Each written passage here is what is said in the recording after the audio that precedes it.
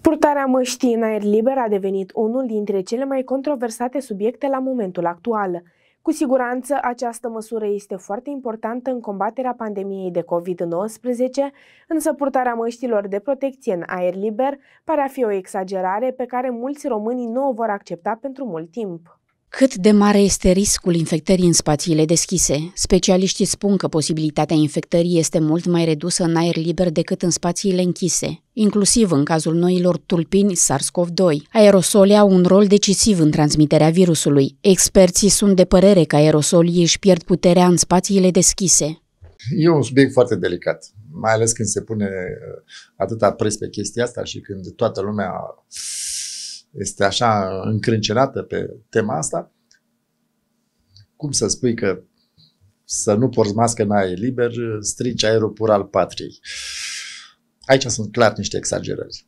Și, și este evident din toate imaginile pe care le vedem la televizor și tot ce întâlnim în viață, că este o chestie mult peste înțelegerea noastră și care strică imaginea măsurilor bune care se iau.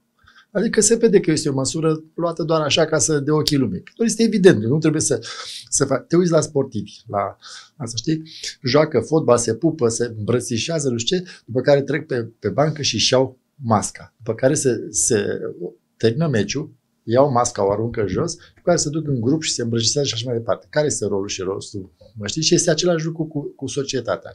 Masca de protecție în aer liber scade, de asemenea imunitatea. Sistemul nostru imunitar este prăbușit. Te duci într-un loc aglomerat? Da. Mi se pare logic să o porți în anumite condiții, sigur. Dar în aer liber nu i-am văzut și nu-i văd rostul.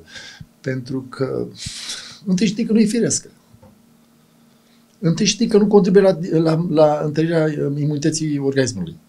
Uh, contribuția la răspândirea în, uh, în spații deschise este minoră sau spre zero. Nu știu, adică efortul este mult mai mare decât, decât rezultatul.